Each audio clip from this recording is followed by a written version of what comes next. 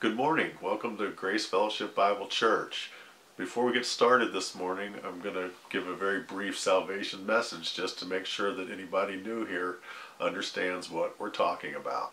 When I'm talking about salvation, I'm talking about the freely offered, non meritorious grace gift that's provided for all humankind, and our choice is to either accept or reject it to accept the grace gift of salvation, all you really have to do is go to God in the privacy of your own soul. You can do it in silence or you can do it out loud.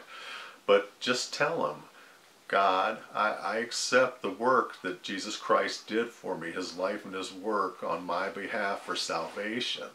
There's about 37 things that happen when you do that.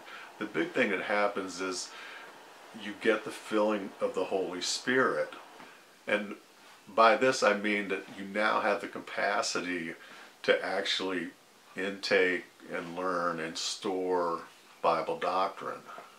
God, the Creator, the ultimate power source, respects your free will.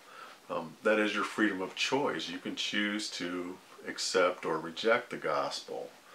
Uh, however, he does tell us, for example, in uh, 1 Timothy 2 3 through 4, um, this is honorable and pleasing in the opinion of God, our Savior, who desires all mankind to be saved and come to a full knowledge of the truth. Also, you will notice when the pastor teacher uh, begins class, we will take a few minutes in prayer to make sure everybody is standing on worship ground. To make sure that you're standing on worship ground, it's also uh, very simple. And we actually have a track we're going to be putting on the website, and we'll have uh, PDFs for doctrine for more clarification. But in the most basic sense, all you have to do is go to God the Father and confess any cognizant known sin, and you'll do that under the filling of the Holy Spirit in the name of the Son. We take the time, or the pastor teacher does, to go slow enough to allow us all to take notes. Some people do it on computer. I personally write everything out by hand. So if you're studying with us today, you may want to take a few minutes and you know get set up so that you're ready. We studied using a system that we refer to as ICE, the letters I, C, E.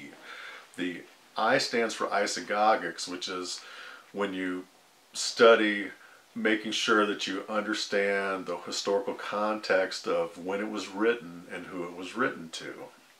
C is for categorical, which means that the pastor teacher, if, if we're studying categorically, we'll pick a topic and we'll go through the Bible and find every place that it occurs so that you get a really good understanding of how a subject is treated in its entirety, which I find very helpful uh, personally.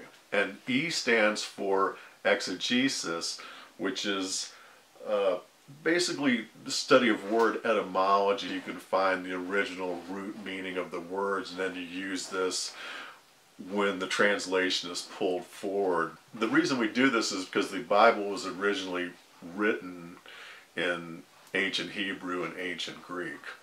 We use a lot of uh, technical vocabulary that may be new to you.